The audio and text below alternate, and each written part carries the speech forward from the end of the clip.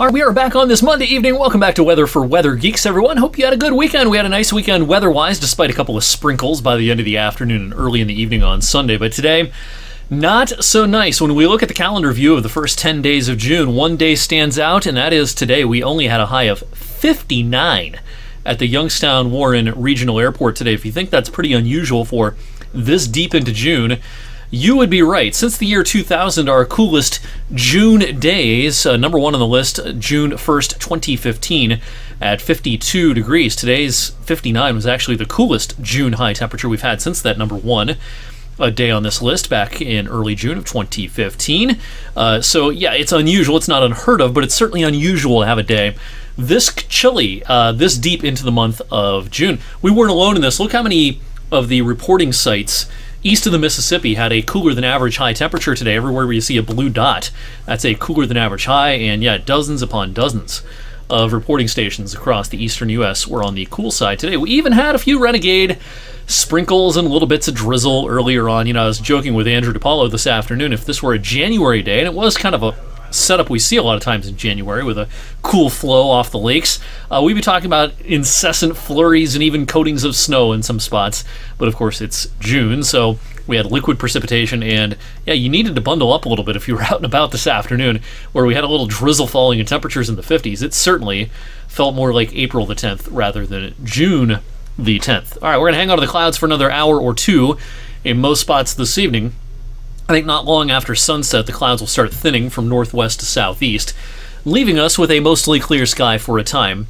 Overnight tonight, a few fair weather clouds in the mix on our Tuesday, especially in the morning, but this will be a nicer looking day. Now, with high pressure almost right overhead, uh, or just to our west, we'll still have a little bit of a gentle northerly breeze, a cool breeze on our Tuesday. So it's not a, warm day on Tuesday, but we'll get close to 70, still 8 or 9 below average, but We'll take it with some strong late June, or early June, I should say, sunshine for our Tuesday. That high then drifts off to the east, and just a few fair weather clouds drifting in and out through Wednesday morning. I think it'll be a bright and sunny Wednesday afternoon, and much more like the season as we get up close to 80. I think we'll get well into the 80s on Thursday as this warm front lifts off to the north. Now, this next cold front that you see on the weather map Thursday morning will probably cross our area late Thursday night into Friday morning.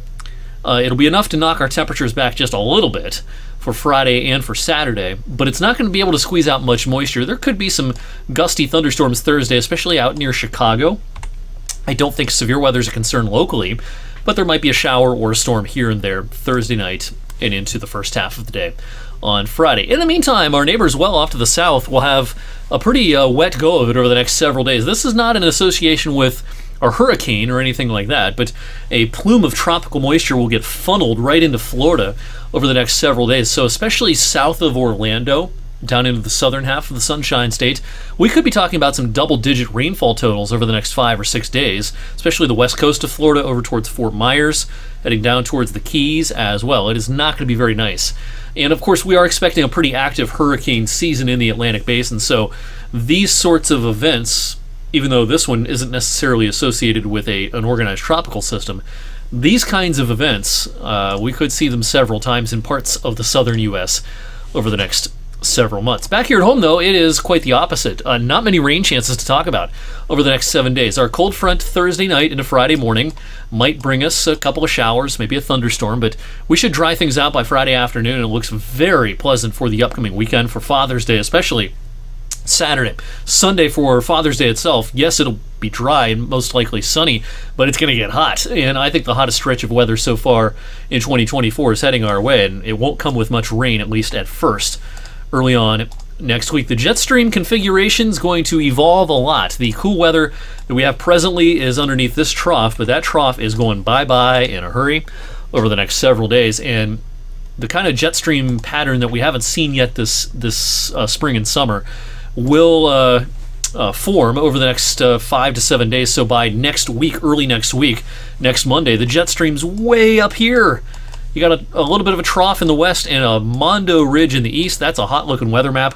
And I think, uh, you know, in our part of the country, we define a heat wave as three or more days in a row with highs of at least 90 degrees. And I think it's possible we see our first heat wave of the summer season early next week.